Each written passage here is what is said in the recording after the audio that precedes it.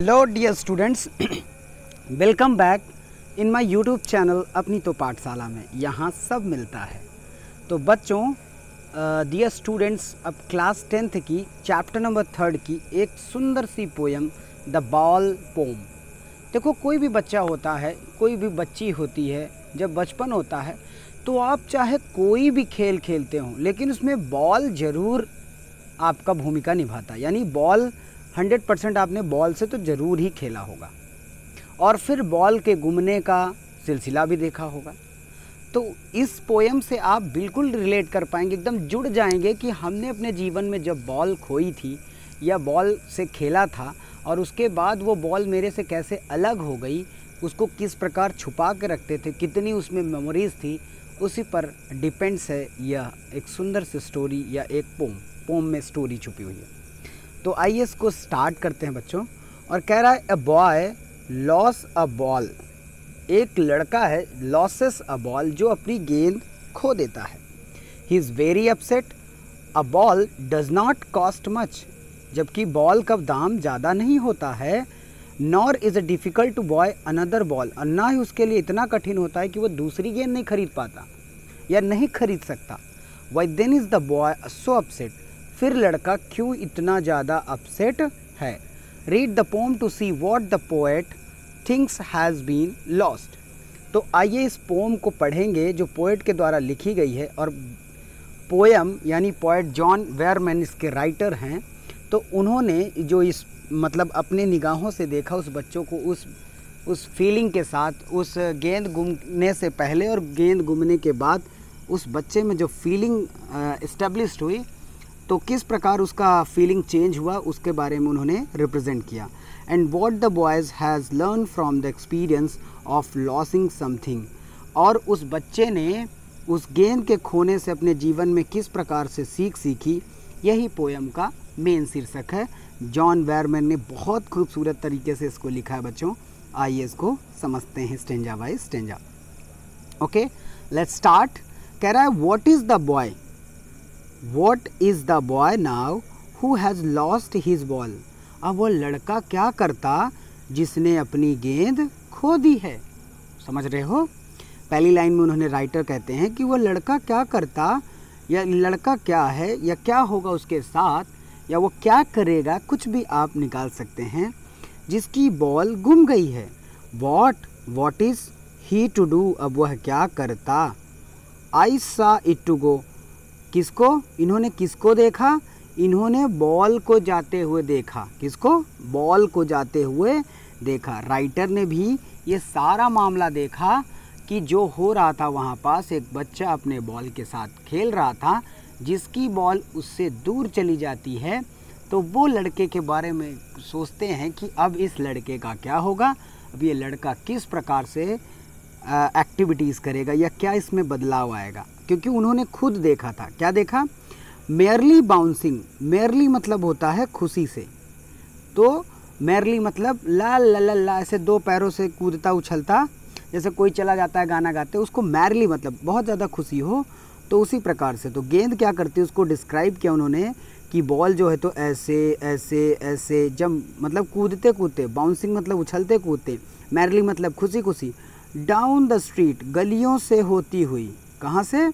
गलियों से होती हुई and then merrily over merrily मतलब बहुत खुशी से there is in the water there is it in the water बहुत खुशी से जब आखिरी में देखो ऐसे जंप जंप जंप करते आती हुई, फिर बॉल लप से कहाँ गिर जाती है? पानियों के बीच में गिर जाती है।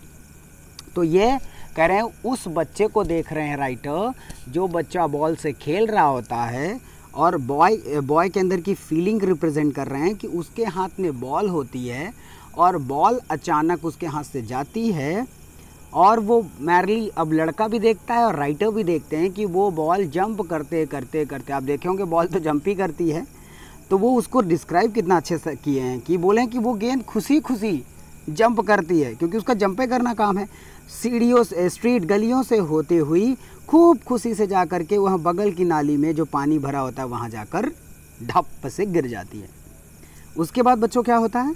No use to say oh there are other balls अब उससे ये कहना कि नो यूज़ टू से उससे ये कहना बेकार होगा oh there are other balls कि तुम दूसरी बॉल भी ले सकते हो। And ultimate seeking grief. अब लड़के के अंदर देखो क्या कहना।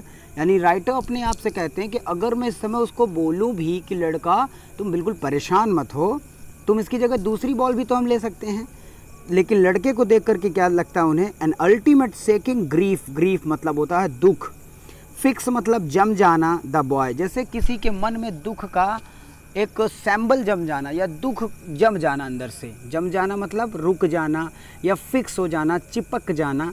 तो उस बच्चे के अंदर जब उसकी अभी उस बॉल से खेल रहा था, इतना अच्छा उसका रिलेशनशिप बन जाता है गेंद के साथ कि वो बॉल जैसे ही पानी में गिरती है, वह दुखी हो जाता है उसके मन में दुख फिक्स हो जाता है। As he stand a rigid a trembling a staring down अब क्या होता है, वो खड़ा हो जाता है और रिजिड मतलब होता है हार्ड। हार्ड मतलब पूरी तरह से कठोर हो जाता है, यानी हिल डुल नहीं पाता है। और ट्रैम्बलिंग मतलब होता है थर थराना या कांपना। वह बुरी तरह कांपने लग जाता है थर थराने लग जाता है। स्टेयरिंग मतलब घूरना, डाउन माने नीचे, वह जहाँ उसकी बॉल गई होती, उसको घूरने लगता है। और वह बेहद डर जाता है, बेहद उसके अंदर एक डरावनी भावना उत्पन्न हो जाती क्योंकि उसकी बॉल उसने देखा कि वो धीरे धीरे कूदती हुई सीधे पानी में चली गई, जिसके साथ उसका बड़ा लगाव था। All his young days into the harbour where his ball went अब उसके पुरानी यादें, बचपन की यादें उस हार्बर से जुड़ी हुई मतलब उस जिस पानी पे गिरा या जिस नाली से होते हुए गिरी ये बॉल उससे उसकी पुरानी यादें जुड़ी हुई हैं यंग डेज़ पुराने दिन। ऐसे बॉल से भी कह सकते हैं बच्चों?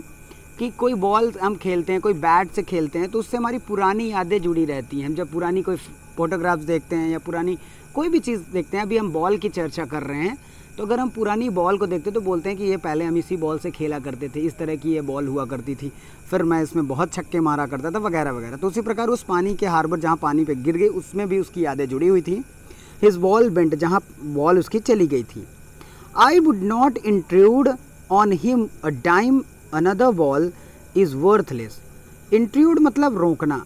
तो राइटर कहते हैं कि मैं उसके पास, वो डरा हुआ था, उसके हृदय में बहुत दुख व्याप्त हो गया था, लेकिन आई वुड नॉट इंट्रूड मैं उसको रोकने नहीं गया। या मैं उसे रोकूँगा नहीं। क्यों नहीं रोकूँगा? A dime another ball is worthless अगर मैं उसको बोलूँगा कि तुम इसकी जगह दूसरी बॉल खरीद सकते हो तो ये बात उसके लिए उस टाइम व्यर्थ होगी। क्या होगी? वर्थलेस मतलब व्यर्थ, किसी काम की नहीं होगी। नाउ अब राइटर क्या कहते हैं? Now he senses first responsibility अब वो कहते हैं कि उसकी सेंसेस को ये करना चाहिए, इस बच्चे को समझना चाहिए अपनी पहली ज़िम्मेदारी। अब ये ये कभी आपको ये बताएँगे कि किसी बच्चे की जब कोई चीज़ खोती है तो उसकी रिस्पॉन्सिबिलिटी क्या होती है? ज़िम्मेदारी किस प्रकार की होती है? उस ज़िम्मेदारी से वो कैसे निपटना चाहिए? तो इस पोयम के माध्यम से बहुत अच्छी तरीके से उन्होंने सिखाने का प्रयास किया है। तो क्या कहते हैं? In a word of possessions in a word of possessions आप इस दुनिया में बहुत सारे लगाव वाली चीज़ों से जुड़े हैं। मम्मी, पापा, भाई, बहन, दादा, दादी बहुत सारी वस्तुओं से जुड़े हैं, घर से जुड़े रहते हैं। आप यहाँ तक कि किसी किसी रेस्टोरेंट तक से भी जुड़ जाते हैं।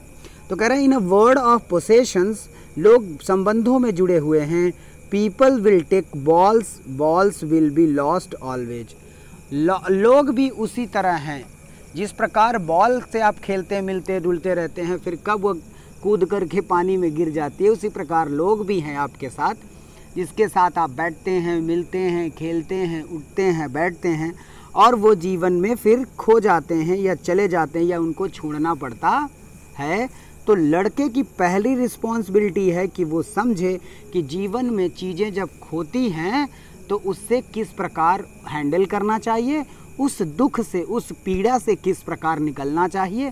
इसलिए इंट्रूड नहीं करते या रोकते नहीं हैं राइटर उस बच्चे को। कुछ भी कह के या कुछ समझाने नहीं जाते। बच्चों, सच कहते हैं तो सबको सजेशन नहीं देना चाहिए। अगर कोई पहली बार प्रॉब्लम में क्रिएट होता है तो उस प्रॉब्लम से निकलने का तरीका उस बच्चे को ढूंढना चाहिए, उस बच्ची को ढूंढना चाहिए, क्योंकि you all the responsible how to come out from that problems तो अगर आप अपनी रिस्पॉन्सिबिलिटी टेक करते हैं, लेते हैं कि किस प्रकार से उस समस्या से हमें निकलना है तो वो बेस्ट होगा, क्योंकि आपको ज़िंदगी में बहुत सारी चीज़ें खोनी पड़ती हैं। हर चीज़ आपको आसानी से मिलने वाला नहीं है। तो खोना पड़ता है तो आप उसके प्रति तैयार रहेंगे तो ये आपके लिए बेहतर होगा। और यही राइटर चाहते हैं कि उस बच्चे के अंदर ये क्वालिटी ये रिस्पॉन्सिबिलिटी डेवलप्ड हो जाए ताकि वह समझ पाए ओके तो वो कहता है balls will be lost always आदमी बॉल की तरह हैं जो जीवन में खोते रहते हैं। And no one use buy a ball back और कोई भी चीज़ खोने के बाद वापस नहीं लौटती। जैसे आप जीवन में किसी व्यक्ति को खो दें किसी चीज़ को खो दें तो क्या वो दोबारा मिलता है? तो उसको आपको समझना पड़ेगा कि I will I can not be return that items या दैट रिलेशनशिप दैट पोजेशंस वो चीज़ हम रिटर्न नहीं कर सकते, लौटा नहीं सकते हैं। तो उसको आपने मन को समझाना पड़ेगा, उस दुख से आगे निकलना पड़ेगा और जीवन को आगे बढ़ाना पड़ेगा। The show the show must go on अपनी लाइफ को जीना पड़ेगा। तो वैसे ही and no no one buys a ball back उस गेंद को तो कोई नहीं खरीद सकता। दूसरी बॉल खरीद सकते हो, पर जिसके साथ आपके रिलेशनशिप जुड़ जाते हैं, उसको आप दोबारा खरीद नहीं सकते हैं। इसीलिए वो रुकना नहीं चाहते। Money is external things money एक बाहरी माध्यम है। सोचो, अगर मनी नहीं होता तो भी तो ज़िंदगियाँ चलती थी। वाटर सिस्टम लगता था। आप चीज़ें एक दूसरे को दे करके, जैसे हमें आटा चाहिए था और किसी को चावल चाहिए था तो चेंज कर लेते थे। मनी तब आया जब लोगों को कह रहा है कि हमको भी आटा चाहिए, उसको भी आटा चाहिए, तब जाके मनी का माध्यम बनाया गया ताकि जो जो जिसको चाहिए वो मनी के माध्यम से खरीद सकता है। हालाँकि ये सिविक्स का इकोनॉमिक्स का टॉपिक्स है तो हम इससे फिर अंदर आ जाते हैं। तो वो बता रहे हैं राइटर्स कि पैसा एक बाहरी चीज़ है, जो मेन चीज़ उस बच्चे के अंदर बैठ गई है आंतरिक रूप से, दुख, पीड़ा, कष्ट, उससे निकलना सबसे ज़रूरी है। He is learning well behind his desperate eyes उसकी आँखों के अंदर जो अंधेरा या दुखी छा गई थी दिस एपेस्टिमोलॉजी एपेस्टिमोलॉजी मतलब होता है नॉलेज नॉलेज कैसा? ज्ञान वाला नॉलेज नहीं, चीज़ों को खोने की जानकारी. जब कोई चीज़ खोती है तो उससे उभरने के लिए या उस नॉलेज को जो लॉस की जाती है, उस वाले नॉलेज को हम एपेस्टिमोलॉजी कहते हैं. How to stand up knowing what every man must must one day know and most know many days how to stand up दुनिया में हर व्यक्ति कोई ना कोई, हर व्यक्ति किसी न किसी को तो छोड़ता है, ये खोता है। ये खोने और पाने का सिलसिला जीवन भर चलता रहता है। तो अगर आपको पता है कि जीवन भर में हमें कुछ ना कुछ खोना ही पड़ेगा तो आप उसको अंडरस्टैंड करें रिस्पॉन्सिबिलिटी लें, ज़िम्मेदारी लें और उससे निकलना सीखें।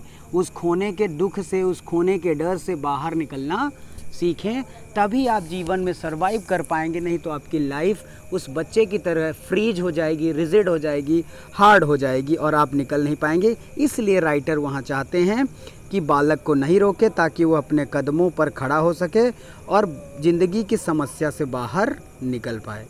तो डियर स्टूडेंट्स ये थी एक छोटी सी पोएम एक ब्यूटीफुल पोएम जिसके माध्यम से आपको बताया गया कि एक बॉल के साथ किस प्रकार रिलेशन बन सकता है और बॉल के साथ साथ आप किस प्रकार अपने ज़िंदगी की चीज़ों को तो देखो राइटर में क्या कमाल की चीज़ होती है कि नहीं?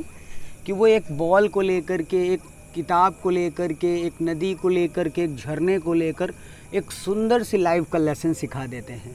आई होप को आपकी ये पोएम अच्छी लगी होगी। मेरा एक्सप्लेनेशन जैसा लगे, आप लोग प्लीज़ कमेंट किया करें। And thank you so much guys for your support